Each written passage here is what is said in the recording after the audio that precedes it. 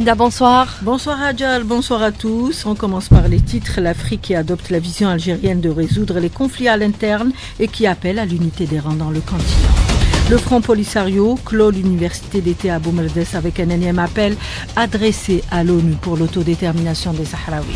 Vendre l'électricité algérienne pour les pays de l'Afrique de l'Ouest, un cluster des industries électriques négocie en ce moment au Ghana.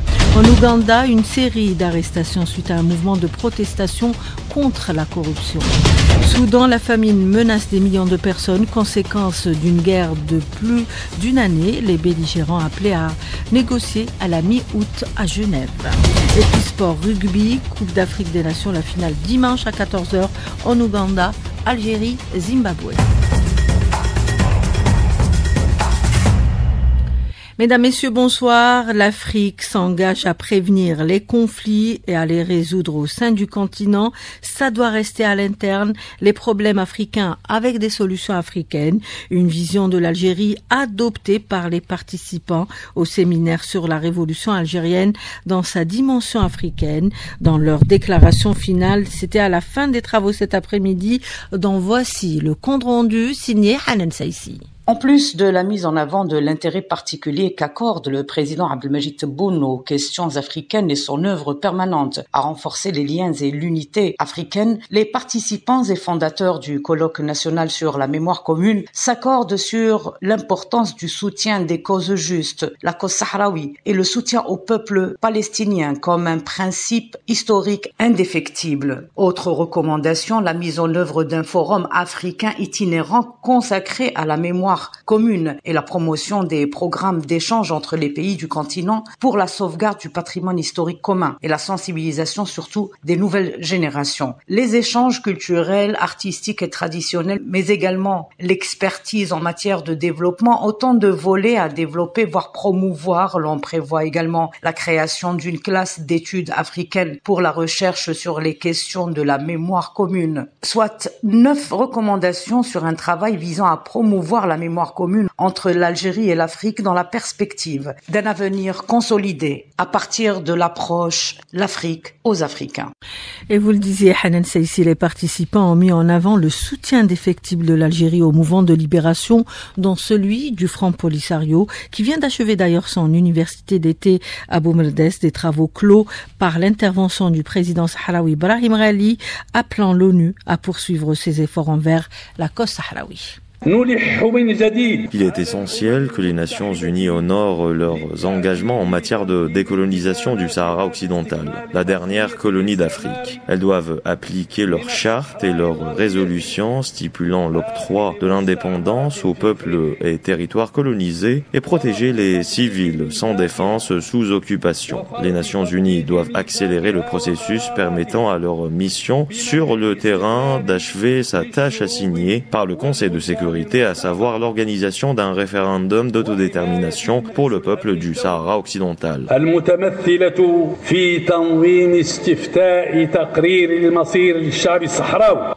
Le président sahraoui Ibrahim Rali, des propos recueillis par Mayal 15.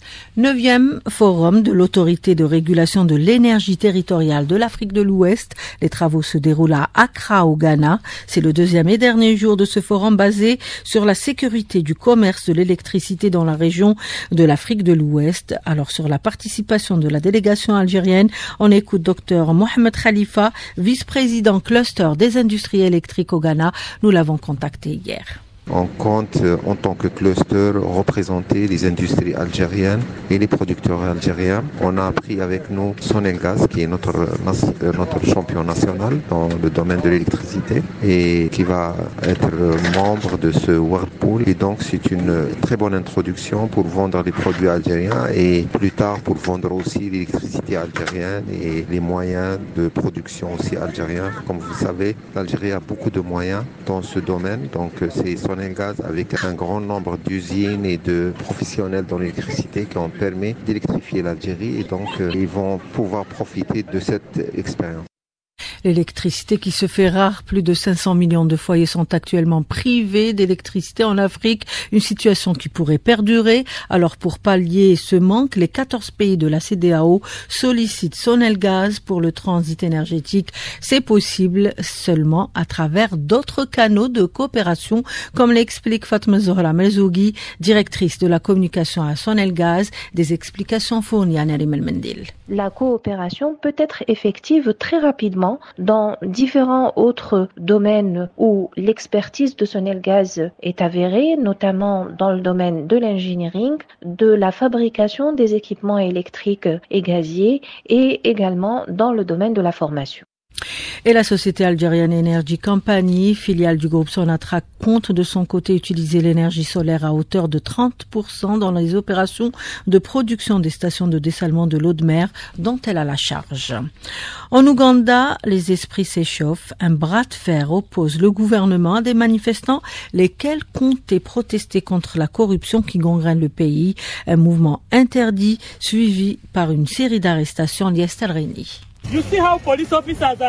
des dizaines de manifestants arrêtés à Kampala, ils ont bravé l'interdit pour dénoncer la corruption et la mauvaise gestion. Malgré un important dispositif policier, de jeunes Ougandais ont tenté de marcher en direction du Parlement pour exprimer leur ras-le-bol. Ils se disent inspirés par le soulèvement de la jeunesse au Kenya. La population ougandaise est parmi les plus jeunes au monde et c'est à travers les réseaux sociaux que le mouvement de contestation est né avec le hashtag Stop Corruption. En effet, selon l'ONG Transparency International, l'Ouganda est classé au 141e rang sur 180 pays en matière de corruption. Parmi les personnes interpellées, on compte trois jeunes figures de l'opposition et un célèbre présentateur de télévision. En réaction, le président ougandais Yoweri Museveni, 79 ans, au pouvoir depuis 1986, ne cesse d'adresser des mises en garde affirmant que les manifestants sont en train de jouer avec le feu. La société civile l'appelle à entendre les doléances du peuple et prendre les mesures adéquates. Liestel vous venez de le souligner, les Ougandais affirment avoir été inspirés de la révolte populaire kenyane qui ne s'est toujours pas estampée. Le président William Ruto tente alors un nouveau geste d'apaisement pour calmer les tensions. Il a annoncé aujourd'hui la nomination de quatre figures de l'opposition dans son gouvernement élargi. Au Soudan, c'est le chaos humanitaire. 23 millions de personnes n'ont pas accès à une alimentation suffisante. 750 000 autres sont au bord de la famine. La situation ne fait qu'empirer. Alors pour que les Soudanais puissent reprendre une vie normale, cela devrait passer par des négociations entre les deux parties en conflit. Rendez-vous le 14 août pour des pourparlers en Suisse afin d'aboutir à une sortie de crise. Marc Laverne, professeur en relations internationales, contacté par la Slimani. Ces forces du Darfour se sont dirigées vers la capitale, ont pris presque l'ensemble de la capitale aujourd'hui à Khartoum. Donc ils sont venus sur la vallée du Nil, ils sont en train de prendre le dessus sur l'armée nationale et ils risquent de prendre possession de l'ensemble du Soudan avec le soutien de puissances extérieures comme les Émirats arabes unis, mais pas seulement. Beaucoup des pays soutiennent ces forces de soutien rapide qui prennent en otage l'ensemble du Soudan, sauf pour Soudan et les endroits où l'armée parvient à résister encore avec quelques aides étrangères on a euh, là le danger d'un effondrement d'un pays parce que ces forces de soutien rapide n'ont absolument aucune compétence pour diriger un État. Au Soudan, la guerre fratricide a fait depuis 15 mois au moins 16 650 morts. Officiellement en paix depuis la signature de l'accord de Pretoria en novembre 2022, après une guerre de deux, après une guerre de deux années, au Tigré en Éthiopie, les combats ont cessé, mais la zone occidentale du Tigré est toujours occupée par les Amara. Face au risque d'escalade, la population locale, encore éprouvée, vit dans la peur et l'instabilité, comme le souligne Jonathan Bettengen, analyste politique. Il revient sur les raisons et les résultats de ce conflit. Il en parle à Lies le conflit au Tigré se présente comme un des plus anciens, mais surtout un des plus violents au niveau de l'Éthiopie. Vous savez que ce conflit oppose le Front de libération du Tigré à l'armée régulière éthiopienne qui vise à partitionner ce pays qui a la particularité de n'avoir jamais été colonisé en Afrique. Il y a un vaste mouvement de soutien qui est tenu par sa grande diaspora constituée d'élites qui travaillent dans les instances internationales l'une des plus en vue étant M. Ghebreyesus, le directeur général de l'OMS, qui a d'ailleurs été un des grands soutiens de la rébellion tigréenne. Quand on regarde l'ampleur des dommages, on parle de plus de 500 000 familles qui se sont déplacées en quelques mois, près de 600 000 morts. Et on reste en Éthiopie 48 heures après un glissement de terrain qui a emporté près de 230 morts dans une zone isolée du sud. Les opérations de recherche se poursuivent pour retrouver d'éventuels survivants.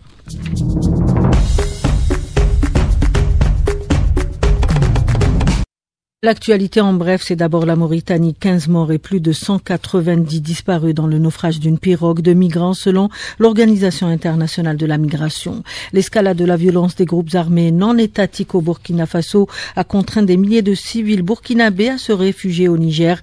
Euh, le HCR alerte depuis Genève. Et suite aux attaques terroristes au Niger, justement, la China National Petroleum Corporation a décidé de suspendre tous les projets de construction sur le site pétrolier d'Agadem dans l'Est. En République démocratique du Congo, au moins 35 personnes ont été tuées dans une attaque perpétrée par les rebelles des forces démocratiques alliées. Ce bilan reste provisoire avec toutes les personnes qui ont été prises en otage et toujours portées disparues. Et puis en parallèle, 25 accusés dont 20 absents sont jugés depuis ce matin Kinshasa pour leur participation à la rébellion du M23, mouvement soutenu par le Rwanda qui s'est emparé depuis fin 2021 de larges pans du Nord Kivu à l'est de la RDC. Et puis le Parlement mozambicain qui a approuvé trois accords majeurs pour faciliter le transfert de prisonniers avec la Zambie, le Zimbabwe et le Malawi, des accords qui visent à répondre à la complexité croissante du crime organisé et de la criminalité transnationale. L'instant écolo avant de passer au sport, parc naturel du Sénégal, le Nyokolo Koaba, n'est plus en péril. Il a été classé en danger depuis 2007, mais l'UNESCO félicite aujourd'hui les autorités pour leurs efforts encourageants dans la conservation de cette réserve mondiale de biosphère qui était confrontée à plusieurs menaces. Ce grand parc naturel du Sénégal a été inscrit sur la liste du patrimoine mondial de l'UNESCO en 1981.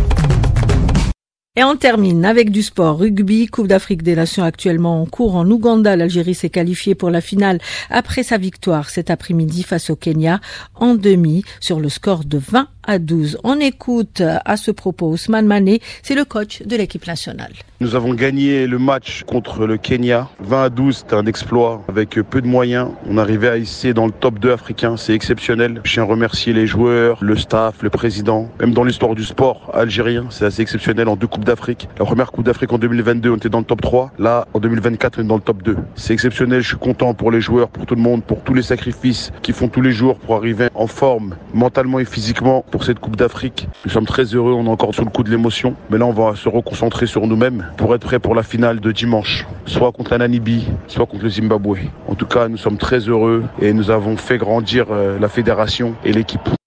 Et on le sait maintenant, les Verts affronteront dimanche prochain en finale le Zimbabwe. Ça sera à 14h heure algérienne au stade Nelson Mandela de Kampala. Voilà qui termine cette édition africaine, la dernière de la semaine. À 18h13 minutes sur les ondes d'Alger 3, elle a été réalisée par Selma Fegir.